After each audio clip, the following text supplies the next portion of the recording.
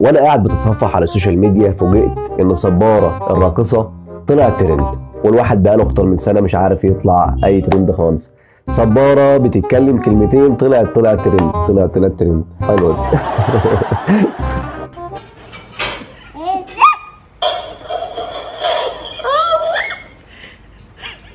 تعالوا بينا نعرف باقي التفاصيل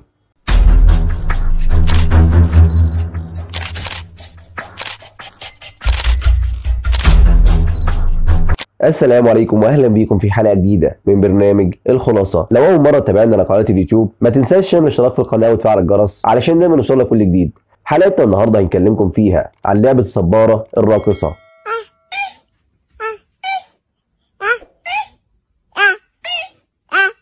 لعبة الصبارة الراقصة اتصنعت في الصين وبدأت تتباع على المواقع الإلكترونية بشكل كبير جدا.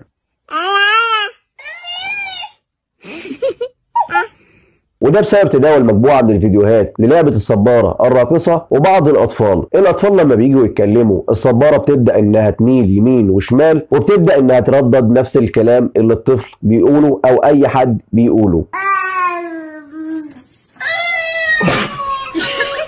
الصبارة الراقصة قدرت في وقت قليل جدا إنها تجذب كل الناس اللي شافتها كل الناس اللي بدأت تشوفها سواء كان كبير أو صغير بدأت تحب اللعبة نفسها. من غير ما تبص هل اللعبة دي وراها أضرار أو لا؟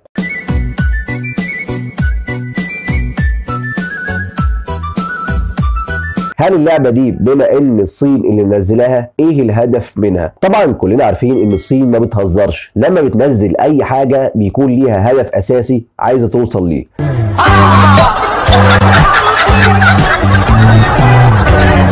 وكلنا عارفين أبلكيشن تيك توك وإيه اللي حصل من وراه.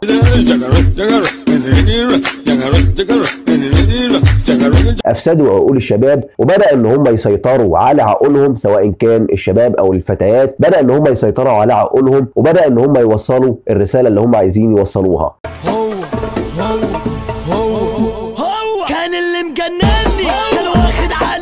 شغلوا الشباب والفتيات ببرنامج تيك توك وشغلوه عن التعليم الأساسي.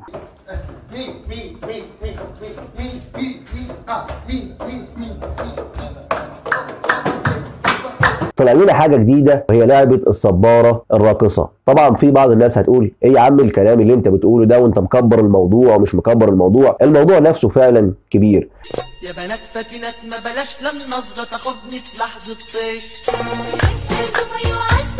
طبعا كلنا عارفين ان الأطفال لازم النمو بتاعهم بيكبر يوم بعد يوم. لكن لما أنا أحط له لعبة الصبارة الراقصة وأسيبها له قدامه أصبح إن أنا بحجم جميع المعلومات الجديدة اللي ممكن تدخل له أو بحجم بمعنى صح عقله. ليه بقى؟ لأن أنا بحط له لعبة الصبارة الراقصة قدامه وبسيبها له وبمشي. طبعا الأم أو الأب بيبدأوا إن هم ينشغلوا في الأعمال بتاعتهم وهيسيبوا الطفل مع لعبة الصبارة الراقصة. الطفل هيبدأ إن هو يتكلم والصبارة بتردد كل الكلام اللي هو بيقوله. أصبح الطفل بنفسه هو مش هيفكر يقول إيه جديد أو يبدأ إن هو يكتسب مهارات جديدة. وده هيسبب عزلة ما بين الابن والأم. ليه بقى؟ لأن الأم هتفضل مشغولة أكبر وقت ممكن وهتقضي كل مصالحها بعيد إن هي تخاطب ابنها face to face أو live على طول مباشر إنها تبدأ تتكلم مع ابنها ويبدأوا إن هم في نقاش بيبدأ الكلام نفسه يتغير يبدا إن هم يوصلوا لحاجات جديدة. لكن دلوقتي الأم لما تنشغل في أعمالها والطفل ينشغل مع الدميه أو لعبة الصباره الراقصة هيبدأ إن هو يكرروا نفس الأشياء مفيش أي جديد. هيبدأ إن هو يحب العزلة وهيبدأ إن هو ينفرد مع نفسه. طبعا كلنا عارفين الكرتون وأضراره والأطفال اللي كانت بتتفرج على كرتون كان إيه اللي بيحصل لهم؟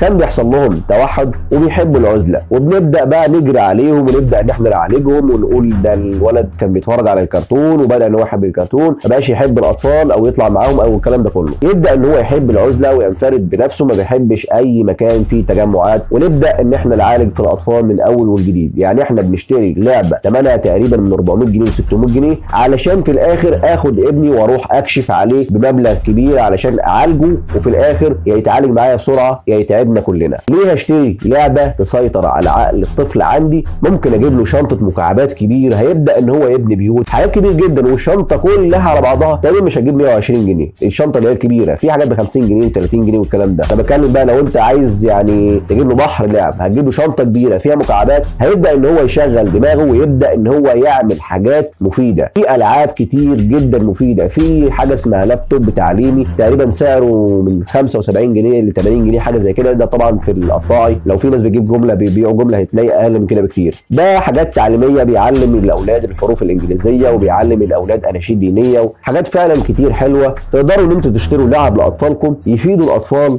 مش يضروهم معانا تقرير مهم جدا عن لعبة الصبارة الراقصة. يا ريت يا جماعة كلكم تتابعوه للآخر. فعلا مش هتخسروا حاجة. أتمنى إن الجميع يشوف الفيديو ده.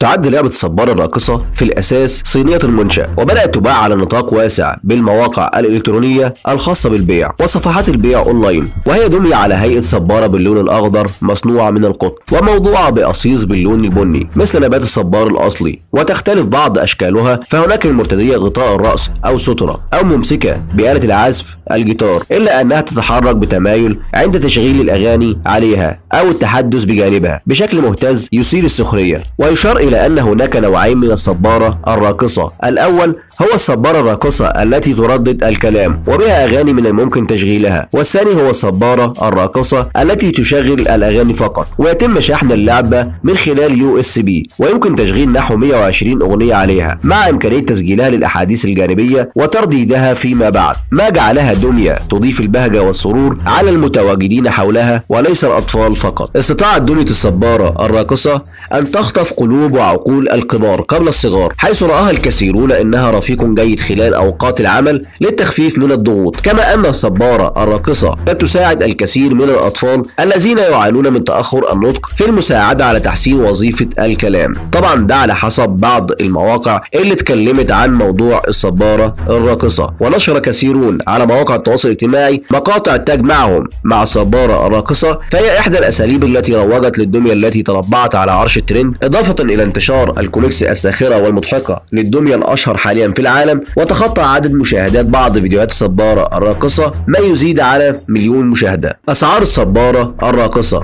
الضجة التي أحدثتها الصبارة الراقصة دفعت الكثيرون للبحث عن سعرها بعدما نالت شهرة في العالم خاصة إنها باتت تعد لعبة مسلية للكبار والصغار معا لتصبح اللعبة الأشهر مؤخرا. حيث يتراوح سعر الصبارة الراقصة بين 400 جنيه إلى 600 جنيه حيث يختلف السعر وفقا للخامة وإمكانيات اللعبة المطروحة.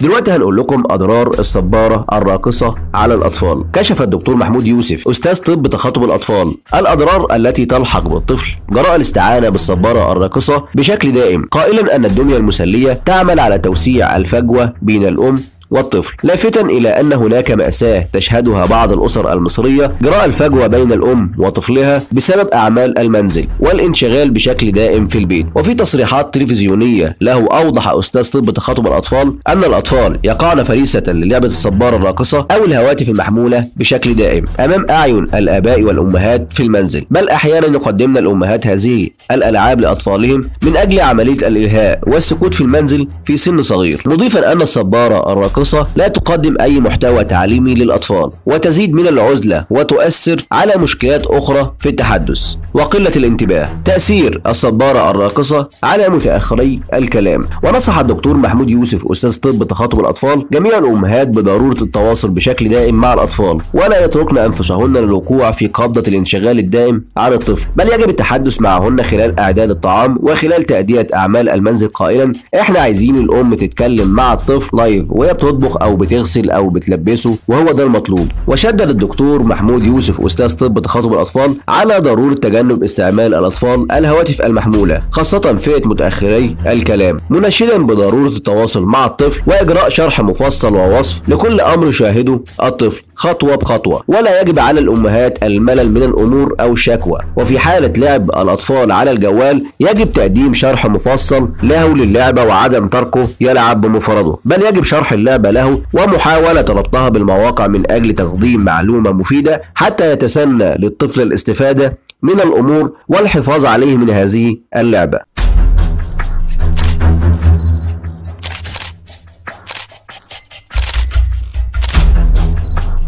وبكده تكون انتهت حلقتنا. بس قبل ما نقفل معاكم دلوقتي ما تنساش تعمل اشتراك في القناة وتفعل الجرس علشان دايما يوصل لك كل جديد. وبكده انتهت حلقتنا والسلام عليكم ورحمة الله وبركاته. إلى اللقاء.